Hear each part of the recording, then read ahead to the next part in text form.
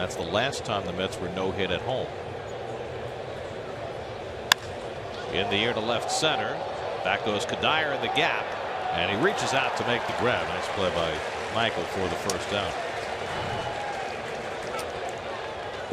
You know, Gary, what I always find that's strange about the no hitter, and no one knows more of this more of this than Mets fans, is how mercurial it can be and how